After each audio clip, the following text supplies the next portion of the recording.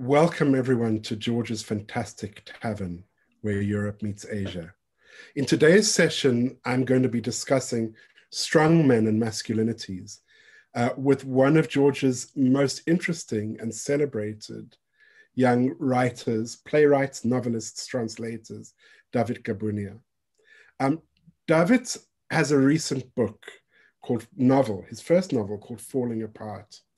We're going to be talking about it today within the context of a, of a quote uh, from a film that, that, that many of you might know and love, as I do, Levan Akin's Cannes, Cannes Film Festival hit, And Then We Danced, about a, um, a, a, gay traditional Georgian dancer who comes out uh, while in Georgia's national dance troupe.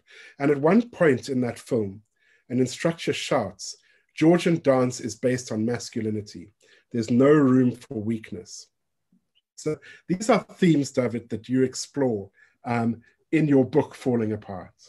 And I wonder if you could tell us a little bit about it, uh, uh, how the book began and, and what your intention was in writing it. Hi everyone. So, and thank you, Mark, for this introduction. So, as for my book, uh, as you mentioned, it's my first novel, and I'm just writing the second one, and it's taking quite a while. But uh, as for the first book, this novel, Falling Apart, I've, it's very often it is um, compared to uh, to Alfred Hitchcock's the, the cult film, uh, The Rear Window, because I do exploit this um, uh, um, it's not a quote even, but it's a form. I would say that, someone is observing uh, uh, someone and taking pictures of, uh, in the block across.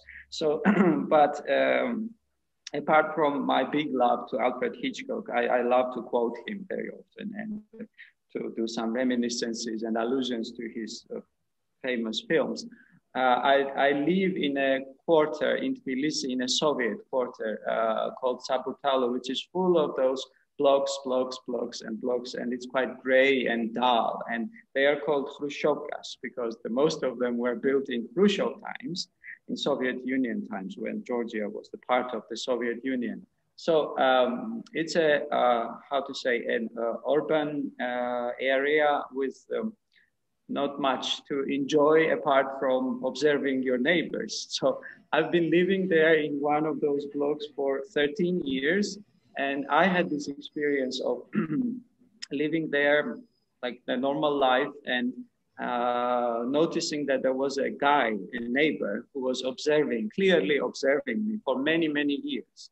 And uh, I had this feeling, and all my friends who would come to my place and we would drink their party or whatever, we would think, uh, uh, we would make some stories and jokes about this man, who he is, what he is doing, what kind of life he leads, and so on and so on. And he, to me, he was a gray, uh, an ordinary person. I mean, a person you can never distinguish or doesn't have any distinguishable or some specific signs that you can recognize him in the street.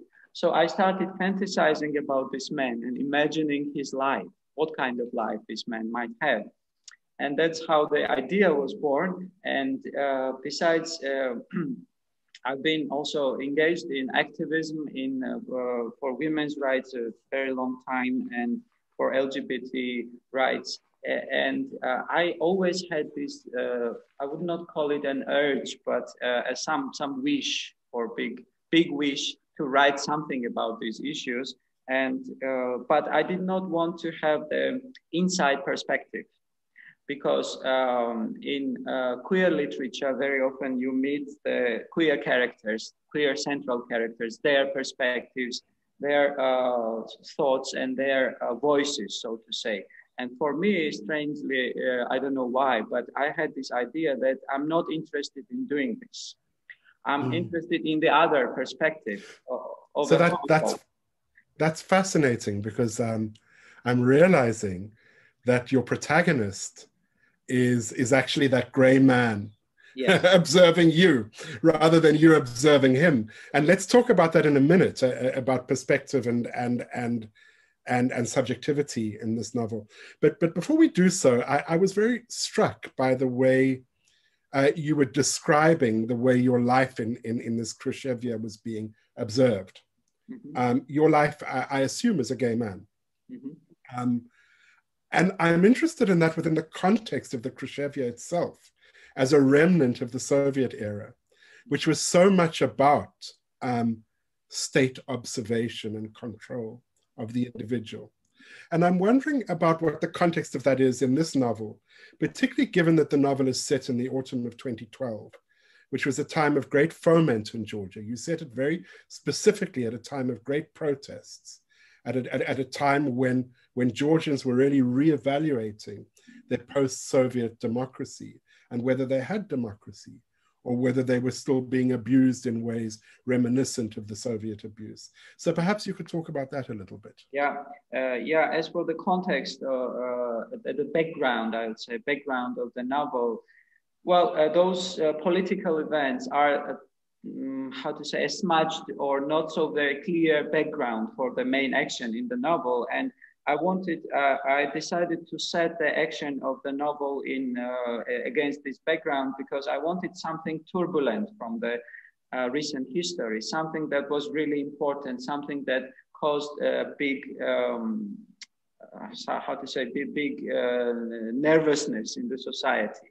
Uh, and I chose those 2012 events. And for those of you who don't know the context, it was uh, pre-election times in Georgia. And as you know, uh, elections are the times when the manipulation of, of uh, um, reaches the peak, so to say. And that's what happened in Georgia. So they, there were the leaked uh, videos, so to say. Well, of course, they were not leaked. They were uh, kept until those pre-election times, and they were the, these were the videos of the abuse uh, and including rape, torture, beating, insulting of uh, male prisoners in Georgian prisons, and that caused a big uproar in the society, and uh, everyone was out in the streets and protesting, and this government must go, and so on and so on. Well, uh, this uh, had a big result, and there was a big shift in the uh, government. So there was a new party that came to power.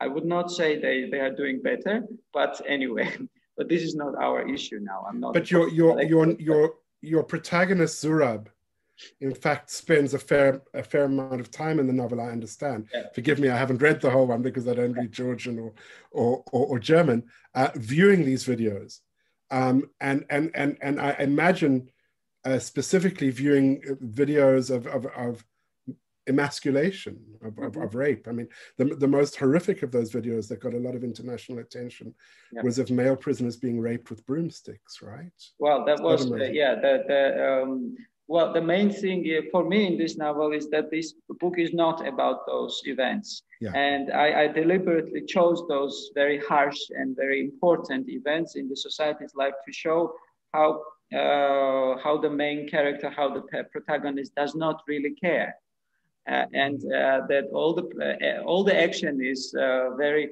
how to say it's a chamber piece, so to say, mm. concentrated, really uh, very much concentrated on the inner life and or, or, the personal private life of the characters. And while these things are happening, the protagonist makes decision that he has no decision, so to say. I mean, his decision is not to involve in anything, not to be involved, and just to follow his path, what he is doing in his private. that that that that in and of itself is is a crisis of masculinity. Yeah. And it seems that your book is about uh, the crisis. The novel, the theme of the novel, is about the crisis of masculinity.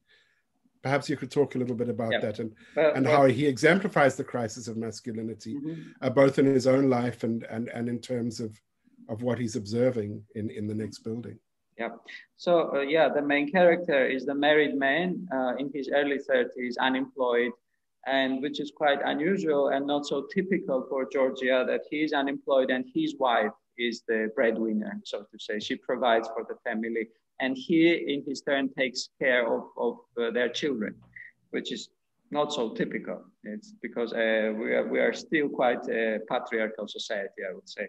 And um, when I'm thinking about it, when I'm thinking why I wrote this book uh, about this man, the character, so I, I uh, quite late later, and I, I, was not thinking about it during in the process of writing, but then a bit later I realized that actually all my writing is about the masculinity crisis, like not just the novel, but all the plays too, more or less.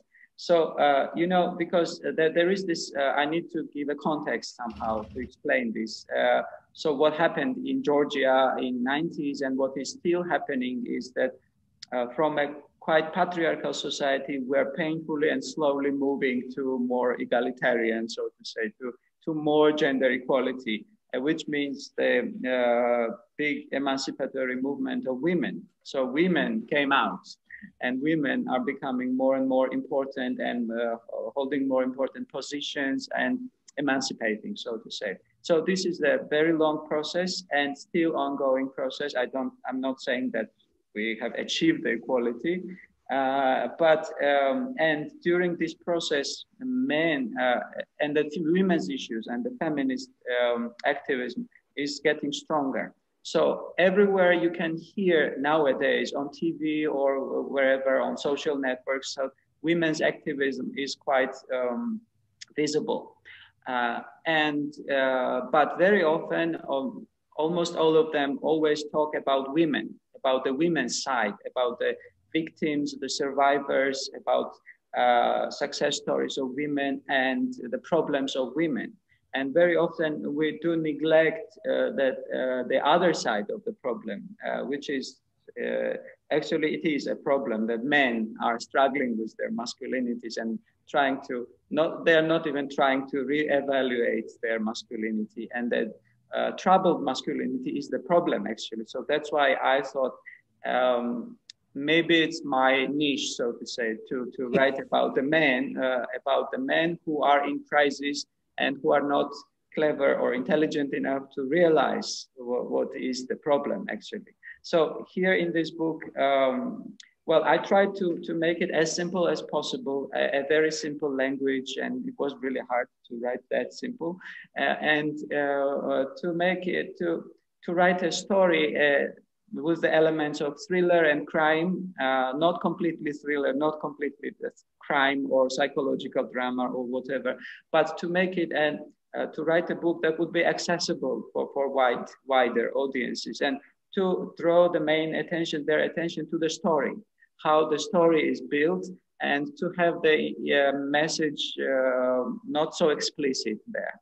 So, uh, and to have it uh, somehow implied in, in the plot. So this is what happens when um, a man cannot um, realize or, or is not uh, intelligent enough or is not willing to to understand his own standing in the uh, current situation and that leads to catastrophe so he is closed uh, unwilling to um, reflect uh, upon everything uh, upon himself and what is happening around him and that that what leads to the catastrophe in the book so I don't, I don't want you to give away too much because yeah. I really hope this book is going to be published in English.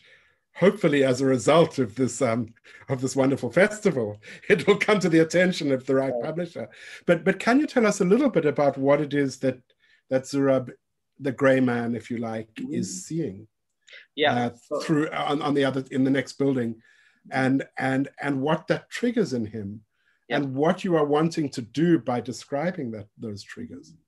Yeah, so to, to be very brief about it, so he, uh, when his life is completely full of boredom, of doing nothing, and the extreme heat in, in August uh, in Tbilisi, and it is really hot in Tbilisi in August. So uh, he just observes, uh, spends his days on uh, doing nothing, uh, smoking all the time, and he just notices that across, in the block across, a new neighbor moves in. Uh, and this new neighbor is a much, much younger guy.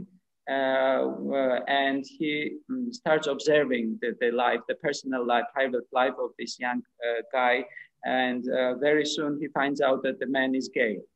Uh, and that he's holding parties there, he's having some, some of his lovers, and this causes um, somehow uh, ambivalent reaction in, in, the main protagonist. So he he's somehow drawn to this and uh, uh, attracted by this fact, but he is uh, he's a homophobe, so he's quite harsh in his language and he says saying the f words and so on and so on all the time while watching this, observing. But he, he cannot not see this all, all the time. So the, and the main uh, intrigue of the book is based on uh, on one particular lover, which is an older man in his 60s and who looks like an official.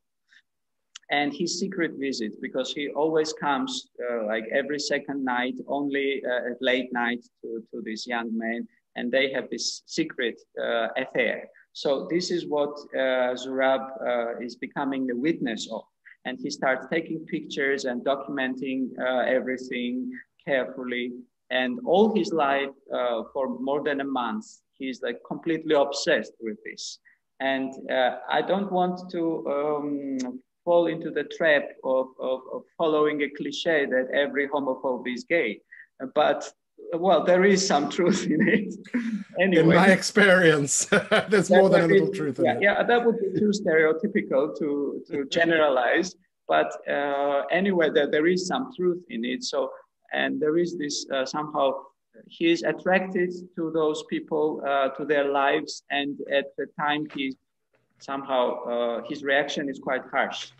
But uh, still, he continues and continues uh, observing secretly them and taking the pictures. And this is what happens. This is the main action in the book. And then something happens, and it, we want, we don't want to give away too much because sure. I mean, maybe, maybe maybe maybe it is maybe it is too cliche to say every homophobe is actually gay, but but maybe it's more accurate to say mm-hmm. that homophobia has its roots yeah.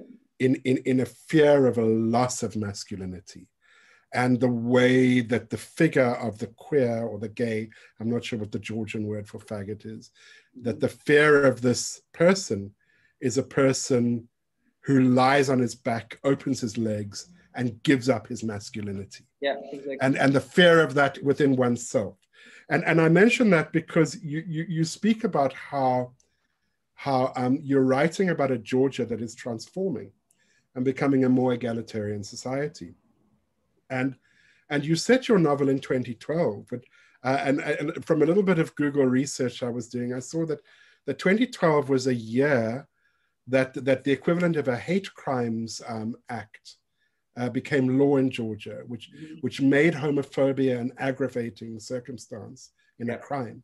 So, so, so, so queer people are, are gaining new power as well in this Georgia. We do have good legislation. Uh, well, where at least our uh, state is trying to catch up uh, because you know we are aspiring EU country. Somehow we will hope some someday we will be accepted there, and so on and so. Because of this international pressure, mostly, not because of the political will of the state.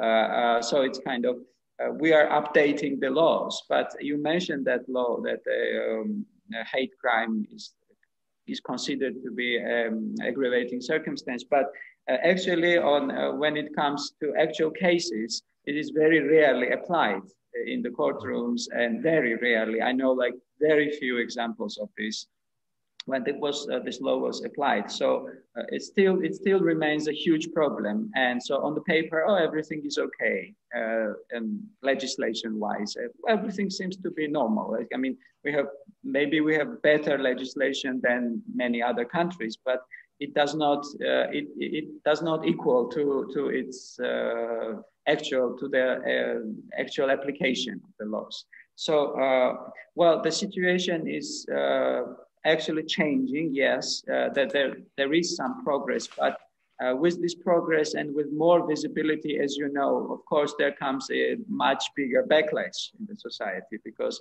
uh, until you are quiet, you are living your own private little life so actually, it's less a problem. And um, as soon as, as it becomes a, a, public issue of public discussions, so the backlash is getting stronger. So we have, we have witnessed this in Georgia. Uh, in 2013, there was this huge uh, thing that happened, a very unfortunate thing, which happened on 17th of May, which is the International Day Against Homophobia and Transphobia. And, it was to be celebrated by a, very small group of local activists. It was not even a huge celebration or some like as we see the westernized pride or something in, in the bigger countries. Well, it was like a, a, formal celebration in the main square of Tbilisi, and it was attacked by a huge mob of people, uh, aggressive people, mostly men, uh, led by Georgian priests mm. and Orthodox Christian priests. And they had this huge campaign campaigning against uh, that we won't allow the, the propaganda of faggotry and so on and so. So I mean, um, well, I'm laughing now, but um, it, it, was a near-death experience for many activities. Uh, were, were, you were you part of that demonstration? No, I was not, but a lot of my friends were, and so uh, it, it, was a scary and it was really uh, unfortunate uh, thing that happened then. And since then, there is this uh, the backlash uh, is not getting so it's getting stronger and stronger from the, so to say, to be, to put it mildly, from the conservative part of the society, to, to give it a cultured name. I used to write some uh, stuff when I was much younger in 2005, and I would never ever dare to publish anything with, uh, in my, my real name. So I used a pen name, and then I remember those stories, and those were short stories. They were quite naive, I would say. Today, I would not. Uh, I'm, I'm, thinking, okay, I'm, I'm it's You're quite happy you used a pen name. yeah, yeah. we should all use pen names for our, well, was, for our was, early literature. I, I, was a beginner. So, but in 2005, um, uh, they, all the editors of the magazines, of literary magazines, knew me as a translator of American poetry mostly. And I worked, collaborated with them a lot. So they all knew me, but I would send them anonymously my stories. And either they got published and there was only one case that one, one thing was published, one small short uh, story about AIDS. Uh, and um, the rest were canceled. They were, uh, they were not banned, but no one wanted to publish them. And, and I would receive from some of them uh, very insulting comments about the text. So that would that has changed definitely. Now, well, here we are, and guys, here we are. in these guys now, all the same uh, uh, editors, maybe they they have not changed themselves, but they know now that they cannot do that. They cannot. Well, I sup- yeah. I suppose that that that that begs a question. A question I want to ask you is: Is here you have a book uh, with um, with very much a, a, a gay situation, mm-hmm. very explicit, um, and it's a bestseller in Georgia in 20, 2017, 2018? Yeah, 17, 18. Um, how was the book received? Were there homophobic responses? Was there backlash? And what surprised you about the way it was received? Yeah, yeah, it was quite surprising for me. Well, the, first of all, I would say yes, the book is about these issues, but uh, because it is written from a different perspective, uh, so uh, that um, it is not so explicit about uh, in terms of sexuality. I mean that there are not so. Uh, I mean there are no sex scenes. Actually, there are no sex scenes. And, and was if I can just ask a question for a minute, we'll come back to my yeah. my main question. Was that a decision that was in any way governed by your concerns about how it might be received in Georgia? To decide not to write sex scenes, or was it because it, it just didn't fit the um yeah. the uh, the style of, of, of the prose? And what God knows I've tried really hard, but uh, then uh, it was it was it is an artistic issue, so to say. Uh-huh. With you, because with my editor, I had three large sex scenes, and right. together with her, we decided, okay, I'm not ready as the writer for that. because you didn't want to find yourself on that Guardian list of the of the, the worst sex writing no, of the year. No, they were not well written. I will. I'm trying in the new book. I, I, will. I promise. I will have at least one. But as for the rest, as for the how how it was received, uh, well, it was surprising. That I I still expected there would be some kind of backlash, but there was not. To my surprise, well, um, maybe because uh, uh, when we when we mention the word bestseller uh, for the Western ear, so to say, it, it, sounds different. But because of Georgia's uh, book market is quite small, and a couple of thousand, uh, well, it, it, sold more than a couple of thousand copies, but several thousand copies uh, sold in Georgia means the bestseller, which is a different thing from the, I don't know, from like, was not like Harry Potter bestseller, was not huge, first of all. Uh, it still means that this book went to the audience that are like the regular readers it means. I mean, in, in this circle, in this literary circle, still, mm. uh, this is one thing. But the, another thing is that uh, I was thinking about it a lot while working about the book. Um, because I don't want, I didn't want to write a book written by an activist. Mm. so that it contains like blunt messages which is what is good and what is bad i do think that some things are good and some things are bad but and that homophobia is a crime and it's a big problem but mm, I, I decided to treat this issue in more a little bit slightly controversial way uh, not to be very blatant about the message. Uh, and to uh, write this character, uh, who is the main character, his perspective, and to uh, when I'm saying that he's a homophobe, like he's not a stereotypical uh, devil with horns and uh, and the tail. Uh, I mean, not the incarnation of of evil, but he's a regular man, and that's what interests me most of all. Like to find uh, to talk about regular people who lead like normal lives.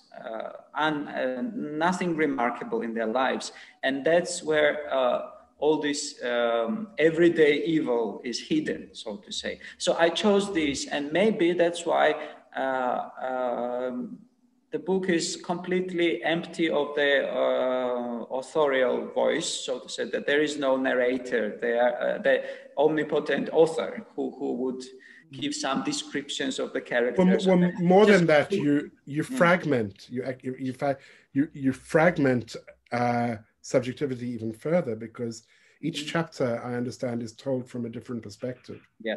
So there are, I would imagine, there is a chapter told from the gay man himself. Yes, and that's a, a big surprise uh, uh, because it is the very last chapter, uh, and it's only half a page, like uh, 100 words, uh, or even less. So that why that choice? Why that choice? Yes, uh, because it was my um, again, I mean, very conscious decision because I had written much more. But in the final version, I cut everything and said, okay, so uh, this is again, uh, though uh, on one hand, it's quite explicit, but not really explicit choice uh, to write. I mean, there, there is no place for those voices in our life.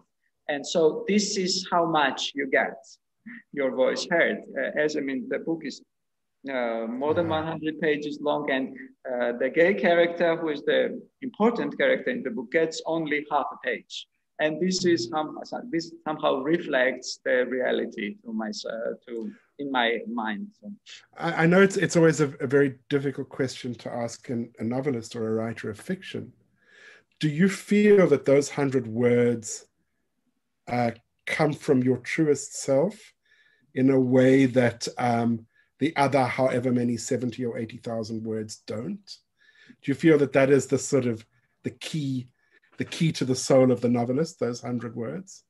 Well, uh, first of all, I'd say that uh, while thinking about this novel and while processing it in my head and in my notebooks, because I would normally write for years in notebooks and then go to proper writing, uh, the only thing I knew for sure, the two only two only um, two things I knew for sure from the very beginning, like five years earlier, before I started writing actually the book, was that I would have this ending uh, of the character um, of this gay character, and I would have the title. What did you learn about yourself by having a fictional character observe a fictional avatar of yourself?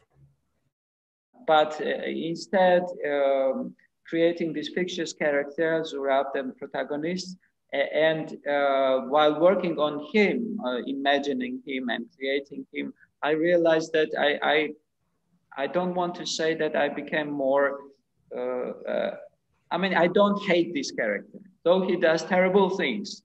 He's a bad person so to say. Uh, and uh, he and he has the chance to be a good person in the book but he never uses this mm-hmm. on the mm-hmm. contrary. Uh, but still i try to understand him because that's what i learned. So it's not enough to to state that okay uh, a person who's a homophobe is a bad person and we need to punish him or we need to do something. But maybe if we want to change something we need to understand. It doesn't mean to justify what, what the person does or thinks but sure. understand how the mechanism works and so i know that i know that you are um, you, you, did work much more as an activist um, mm-hmm uh, earlier in your life and, and you don't work sort of full time as an activist now. No. Mm-hmm. But but on the basis of your experience of having gone through this uh, in imagining Zurab, what could you say about what you think might be effective in terms of LGBTQ activism going forward in a country like, like well, Georgia? Uh, well, it's a huge and very painful issue uh, well, we mentioned some facts that happened in 2013, and there were other facts, and there still are that there is still this uh, ongoing backlash and violence against activists, and it's quite a dangerous thing to be an activist in this country. Uh, and it's not just I'm not just uh, saying it by I mean it's uh, I, I, have facts, actual mm. people's lives, and who are risking mm. their lives uh, and well, I uh, I cannot call myself an activist compared to those those people who really actually risk their lives every day and actually work. So that's why I would not. It's too much uh, to uh, to call myself an activist. So and actually, I decided to quit activism uh, many years ago um, because you know it's so frustrating because you work every day, you work every day, you have to immediately respond to every challenge, every new thing happening in your country. And you have to do it every day and it's exhausting and it's challenging and it's uh, frustrating that you you fight you fight and it's a daily fight and you don't get the result even in, in a year or two or three the change is so small and not tangible and uh, uh, then i decided okay and it was my very conscious decision that, okay, I need to quit now. I need to do something else in my life.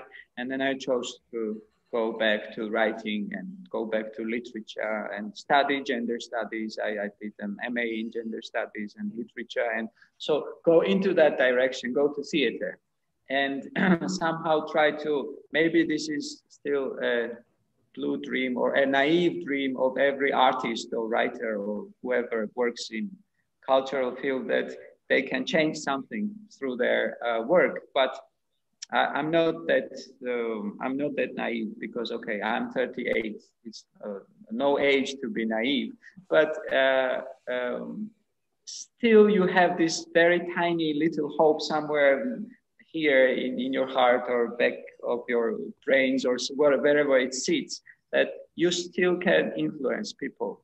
And then I decided, okay, uh, I need to do that to follow this path, maybe to work slowly you know, on a very long term project. And maybe the impact of this work will be not so visible, but still I feel more comfortable doing this. But but would you like to say anything at all about your the project of making fiction for you, where it goes next? Addressing the issue of um, small provincial provincial town where I myself come from, from Western Georgia, with a little seaside town with like only 50,000 people living there, an industrial town. Uh, and uh, the uh, brutality and uh, the, the, violence among children there, among boys. So uh, the issue that is extremely important for me, and I hope that, well, it is important because it is widely discussed in, in Georgian media and everywhere in Georgia right now. So uh, why do boys uh, in the closed uh, little communities, in like sports communities or uh, some other school communities, uh, what is the origin of this violence in, the, in them? So in a way, I'm continuing the same thing, continuing the like exploration of masculinity, but this time uh, at the level of its uh, birth, so to say, where it starts to um, shape uh, to where, where it uh, gains the shape at, at, the early teenage uh, uh, among early teenage boys. And so i'm writing about this now so. There's a very interesting recent documentary georgian documentary that looks at boys and masculinity right? Mm-hmm. um, and I, I, I'm, I'm wondering how i forget the name of it but i'm thinking about that documentary i'm thinking about and then we danced mm-hmm. i'm thinking about your book and and um, you know you speak about backlash but backlash is is often in response to action and people claiming yes. agency as you said and people speaking um, and um, do you feel there's a sort of new georgian movement I, am not sure if you would call it a queer movement or a or a gender conscious movement. Um, you know, there's also that that extraordinary film, My Happy Family, um, about a woman who who walks out on the patriarchy. Yeah. Um, from from the outside, something seems to be happening in Georgia.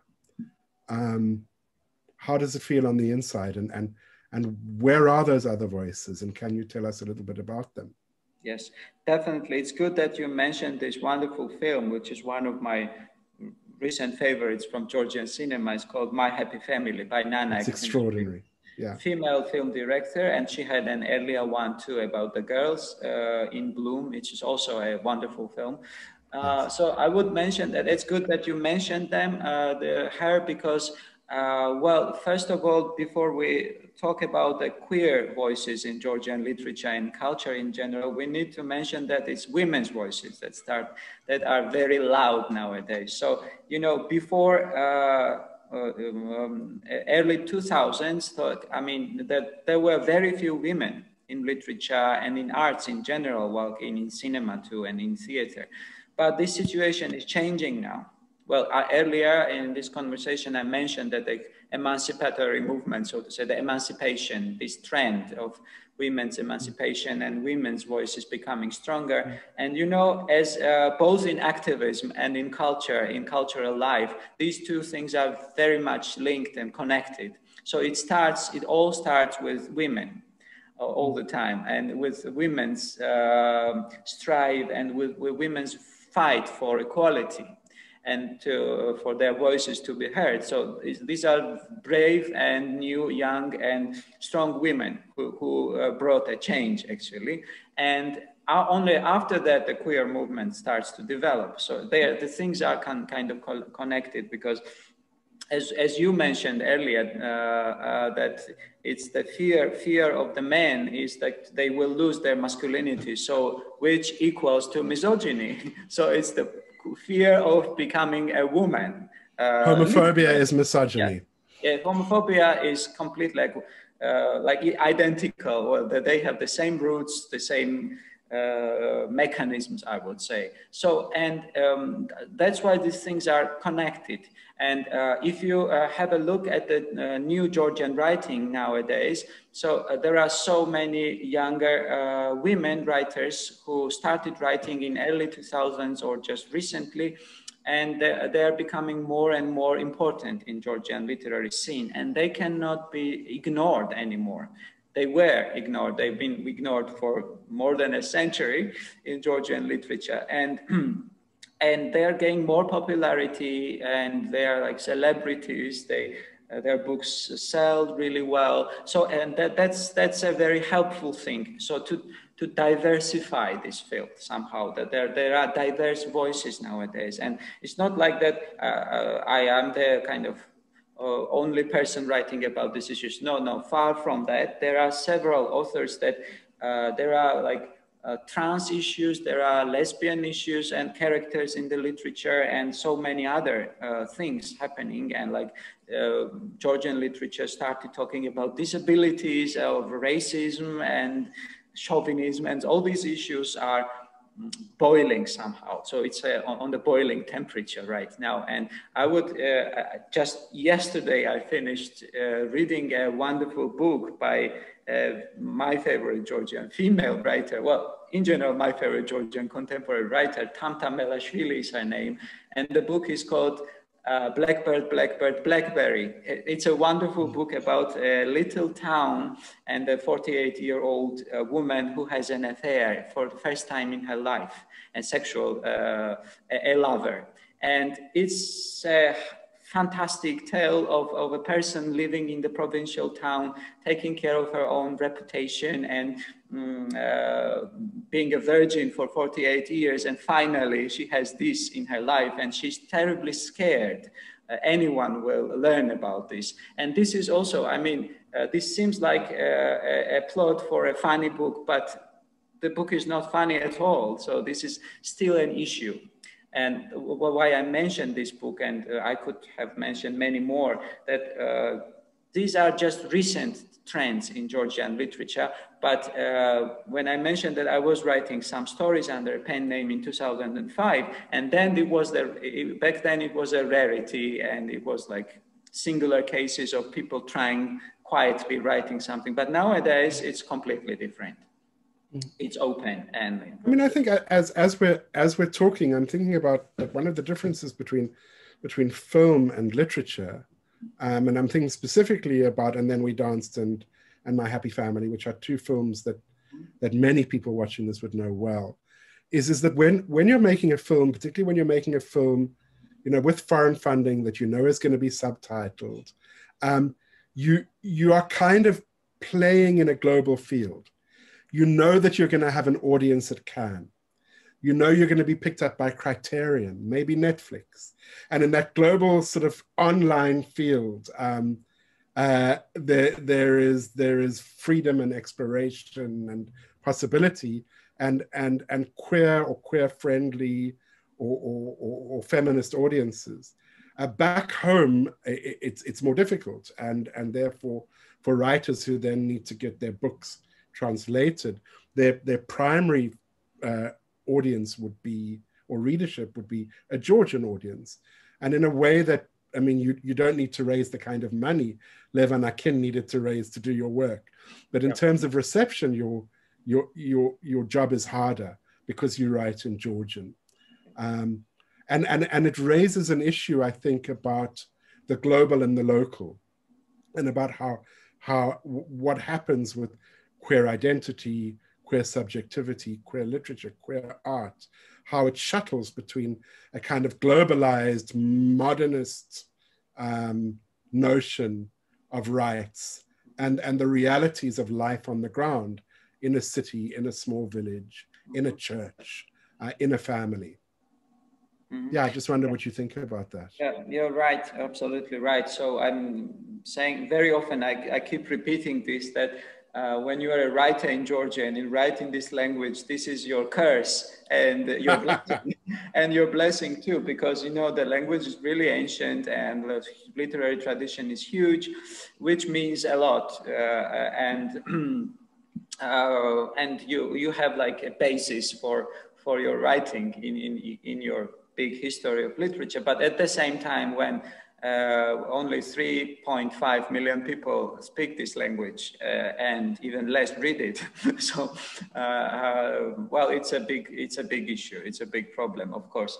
Maybe that that's, uh, I mean, it should be your, um, not just the native language you're writing in, but the native uh, environment as well. You need to be brought up here.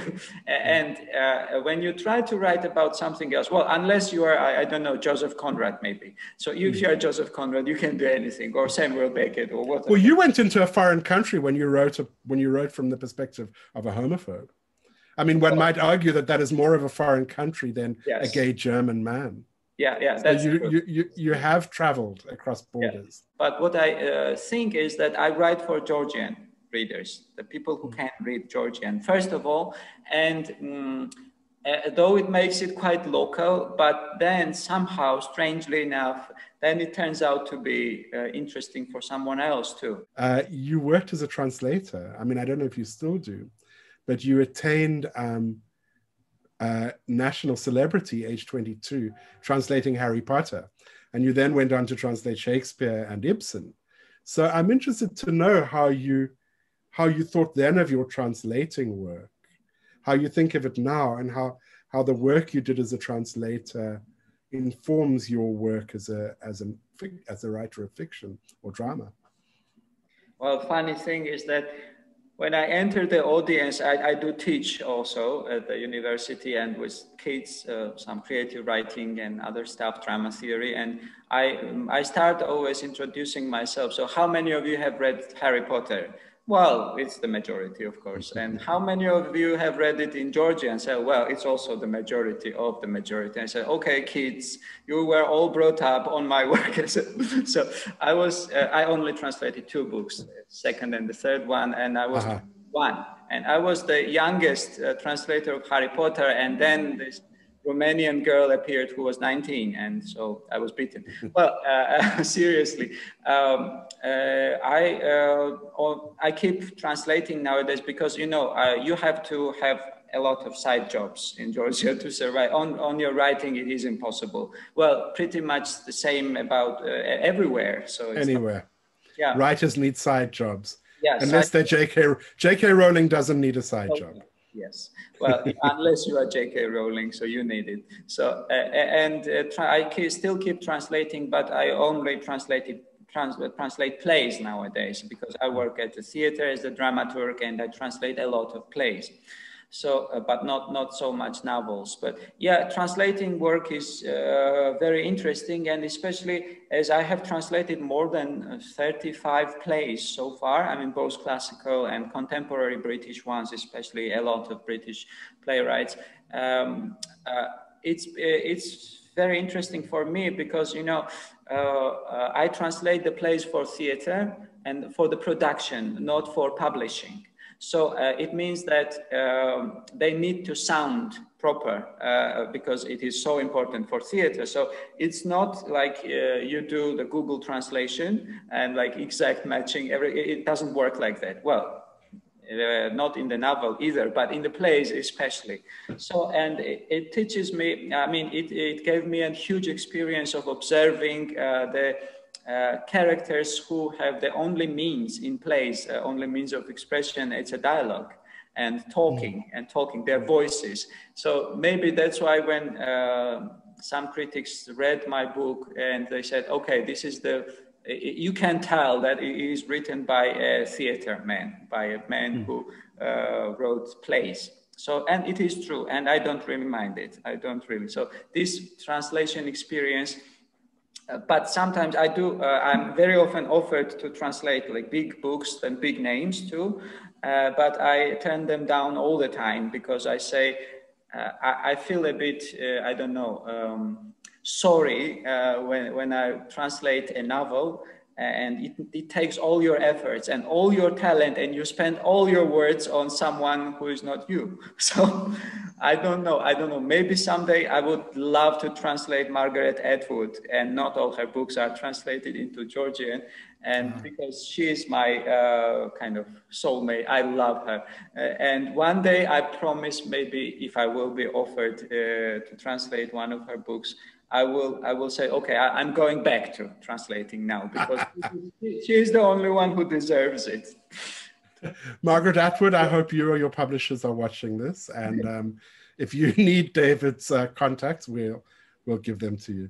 Uh, David Gabunia, this has been a really fantastic conversation, very rich, uh, very very lively and, and fascinating, and has just made me all the more interested in in your own work in the new wave of Georgian literature in visiting your country where I have never been. Um, and I really look forward to being able to read your book in English. Um, for those of you who want to read an extract of David's book, uh, please go to wordswithoutborders.org where you'll see an extract. For those of you who want more information about this, this really wonderful initiative, uh, please go to georgiasfantastictavern.com. That's one word, georgiasfantastictavern.com. Thank you very much, David, and looking forward to your next novel too. My dog is saying goodbye to you as well, just on cue. bye bye.